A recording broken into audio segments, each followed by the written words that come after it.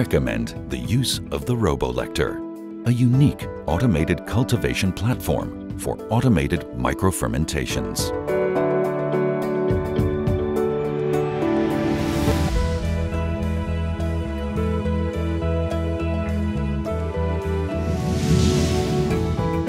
The operator can choose between various components, such as a washing station, racks for reaction tubes, disposable tip pickup stations, a magnetic stirrer, MTPs for media preparations, sampling and dosing actions, and cooling stations.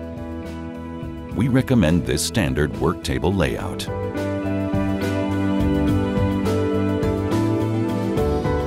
The platform autonomously prepares media compositions, for example, according to design of experiment templates.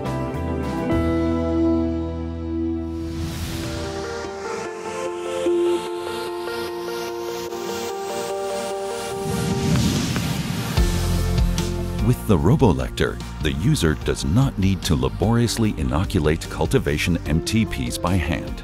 The operator only has to set up the agent software and place the MTP into the BioLector. The liquid handling robot automatically carries out all steps to inoculate the main cultures homogeneously.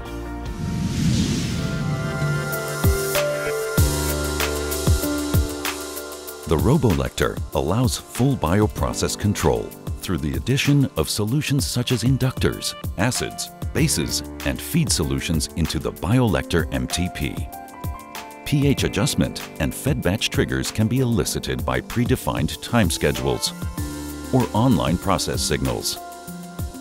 Possible trigger signals are dissolved oxygen concentration, biomass, fluorescence, the pH value, or the process time. The needles pierce the silicone foil covering the shaking MTP. Afterwards, simple cleaning is required.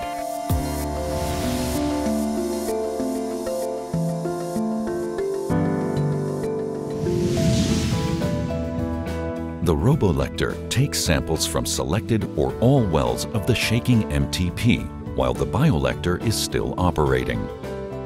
The preset RoboLector agent is triggered by either process time or BioLector signal. The samples are transferred into an MTP, for example, based on the cooling station. After each sampling step, the tips are decontaminated using the extended cleaning method in order to avoid cross-contamination. The RoboLector fits into most commercially available clean benches and safety cabinets. Its measurements depend on the size of the platform selected. This is the robotic solution for your microfermentation to gain full process understanding.